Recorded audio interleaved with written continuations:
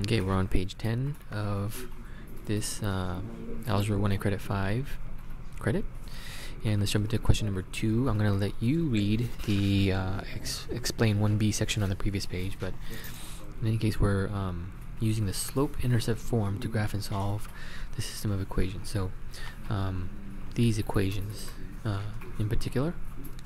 And the slope-intercept form is nice because when you have things written in this format, um, it tells you exactly what the slope is right there. The m is the slope, and then the b is the y-intercept.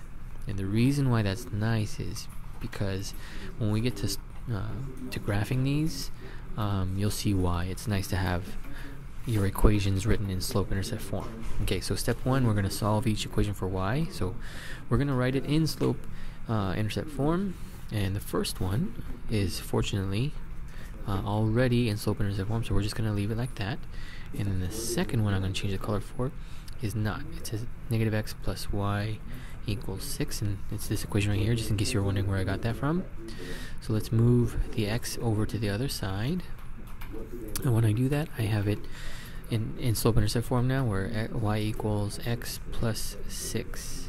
Okay, so the uh, so for this first equation, the slope is 2 so the slope equals 2, which is uh, a whole number, which can be written as 2 over 1, where 2 is the rise and 1 is the run. So what that means is we're going to go up 2 and over to the right 1 unit.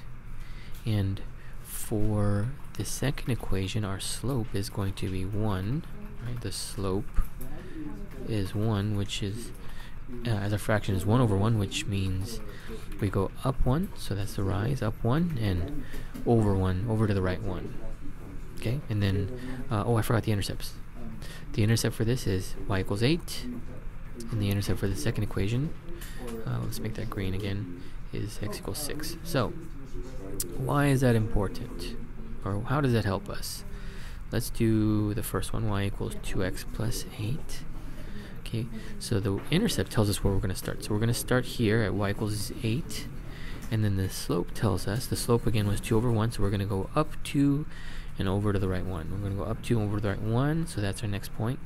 And our graph actually stops there, so we're going to do the reverse. We're going to go down 2 and to the left 1, down to the left 1, so on and so forth.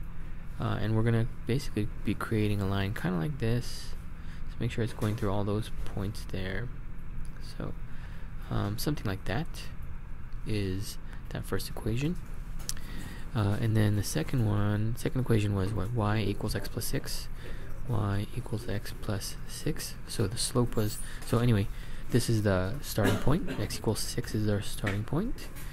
And then our slope was 1, right? I know it's not written there, but it's technically 1, which is also 1 over 1. So we're going to go up 1 and over 1, up 1 and over 1, up 1 and over 1, so on forever and ever. Uh, let's see if we draw this like this, right? Like that.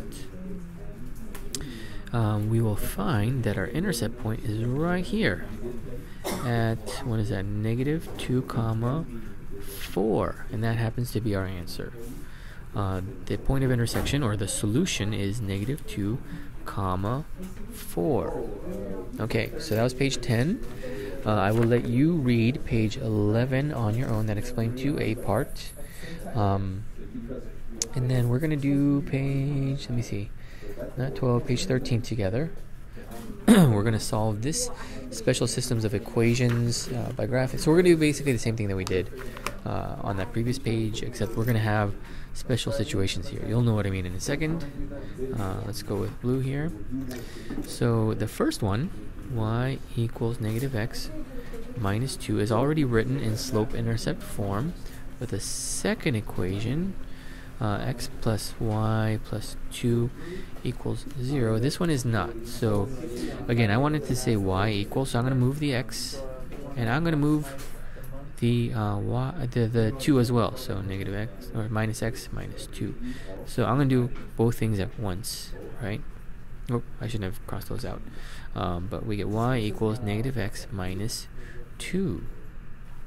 So if we go ahead and graph um, that first point, right? Negative x. This is our starting point, so we're going to start here at negative 2. And our slope here is negative 1, or negative 1 over 1. So uh, a negative 1 slope means we're going to go down 1 over 1. Down 1 and over 1, so on and so forth. So let me move the graph up a little bit. Basically, we're to put down 1 over 1. So it's to basically be somewhere along here. And let's just do something like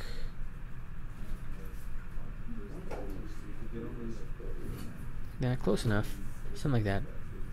And then um, you'll find that if we try to do the second one, look at that. Starting point is at negative 2 as well, and then same slope. So what happens? Well, if you do something like that, you get two lines that are actually right on top of each other. So um, if you refer back to one of the previous pages, we would we would find out that when you have two lines right on top of each other, you have an infinite uh, system. So so the solutions you have infinitely many solutions. So that's the answer to that particular uh, question there in step two. Okay. Uh, let's hit up one more page here. Uh, let's see, page like 16. So jumping over to page 16, those other pages talk about how to use Desmos to do this. Um, but here's a context. Okay, so in this case, we have a context. Video Club A charges $10 for membership and $4 for movie rental. Video Club B charges a little bit more for membership at $15, but a little bit less uh, per movie. So for how many movie rentals will the cost be the same? And what does it cost? So let's go ahead and write the equation for Video Club A. It charges $10 for membership, so that's a one-time fee. And then this is the variable, the $4 per movie rental. So uh, Video Club A, right? Uh, I think we're using function notation. So let's say the f of x for A, okay, is going to be um, the rate, which is $4 per movie x right? So as x changes the amount of money you're paying changes right? If you borrow more movies obviously you pay more money. And then $10 for membership. Okay. And and by the way this question is a little outdated because uh, i don't know how many video uh, rental places are around anymore but in my day there were a lot of these. But anyway so that's the um, that's the function for um, video club a and video club B, which will make green, and we're using g of x here, is going to be the rate, which is what, $3 per movie rental plus a $15 fee. And I think what we should do is, is write it in here as well 3x plus 15, and this is going to be 4x plus 10.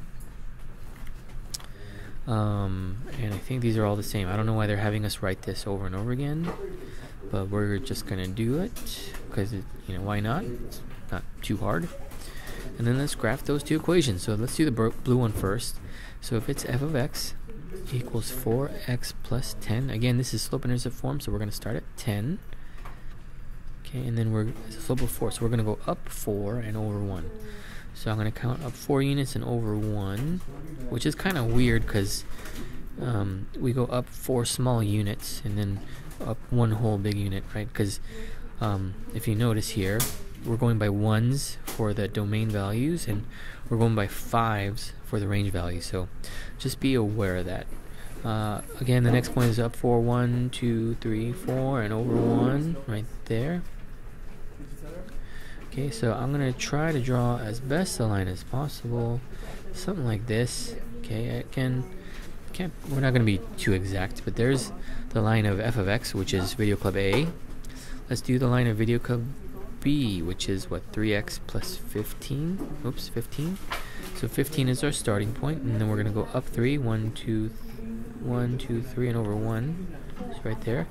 Um, one, two, three, and over one. Okay.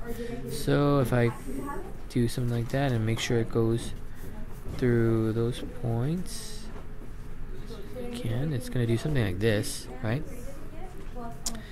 Okay, and so interpret the solution. Well, where do they intersect? They seem to intersect right, it's not exact, right? But at 5, I want to say I want to say it's going to intersect here. I know those lines kind of don't look like they're crossing there, but um, that's the nature of not having an ex- uh, an exact graph here. Sometimes when you draw lines, it, it's not going to come out exactly, but there is a way we can check, right? We're going to plug this point in 5 comma 30 into both equations, and if they come out to be true, uh, we'll know that, that it, it's a true statement. So let's go ahead and do that. So for f of x, so for f of 5, let's let's see what happens. So um, let's see. Um, let me see. I'm going to backtrack a little bit. The f of 5 is actually just 30, right? That's our y value, 30 equals 4 times the x value 5 plus 10 and so 30 equals what is that 20 plus 10 and 30 equals 30 so that is a true statement for that for that f of x statement there. And let's check for the g of x. 30 equals 3 times 5 plus 15 30 equals 15 plus 15 and yes 30 equals 30 this is a true statement so it's true for g of x as well. So we say that after five movie rentals the total cost for both video clubs will be $30